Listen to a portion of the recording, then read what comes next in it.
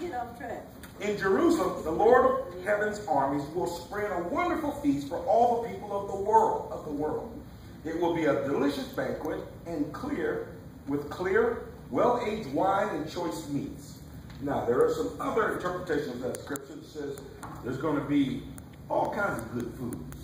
Okay, this just says wine and meat. Well, we can't just survive on wine and meat. So there's going to be other foods. Okay, but it's going to be a feast. Uh, you know, back in um, biblical times, everything was celebrated with food. Feast. Huh? Whether it was the Feast of Tabernacles, whether it was Passover, everything. The Lord brought plenty of food, so there was no problem on what we were going to eat. Okay? And he's describing it right here. It will be a delicious banquet with clear, well-aged wine and choice meats. In verse 7, he says, there will be there he will remove the cloud of gloom, the shadow of death that hangs over the earth. Now this one kind of stumped me, so I had to read a few different versions of it. Mm-hmm. All of us are going to die on this earth. Okay? So we all have this gloom over us. Okay?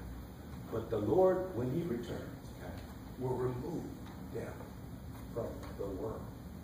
Now, and unfortunately, in chapter 24, a whole bunch of people are going to die. But when he returns, there will be no more death.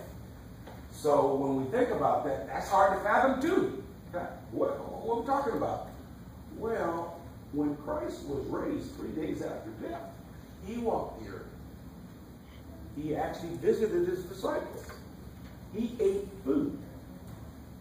Now, that he was raised, and he was in a human body, now, this happened 2,000 years ago. So God has probably perfected it now. So as we think about is this possible or not,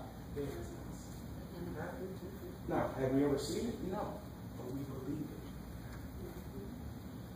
That part kind of stuck me. There he will remove the cloud of gloom. Gloom is death. The shadow of death that hangs over the earth. Everyone on the earth is going to die. Right? The only question is, will you live again? Right? Now, I don't know what that entails. Right? Uh, but if I can live again, I don't care how I live. I want to live. Grandfather died, dad died, and I'm next. So this is real important to me. Not so important to you.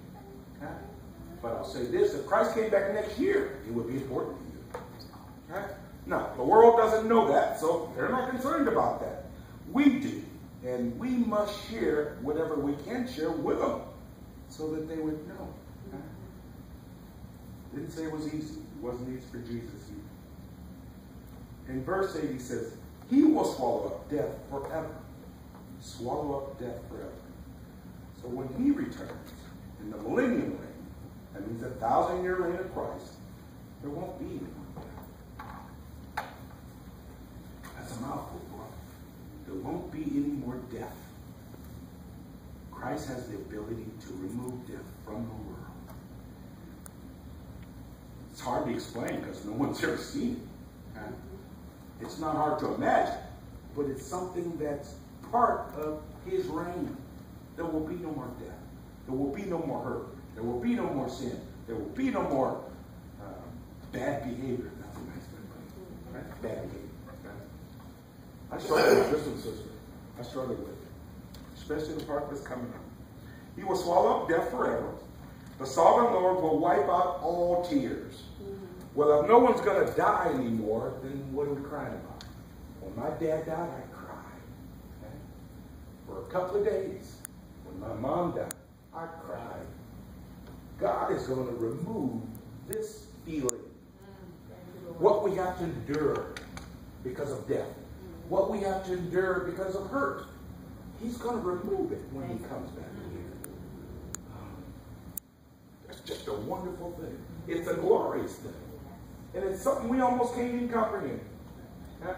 But start visualizing. That's what I do. I'm visualizing seeing Jesus.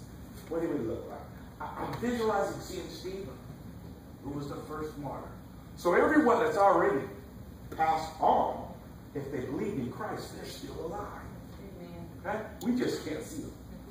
But we will get a chance to see them. Even you, my brother. because I know you're going to believe because he's going to lead you. So as we think about all these things that are possible or not, they're all possible.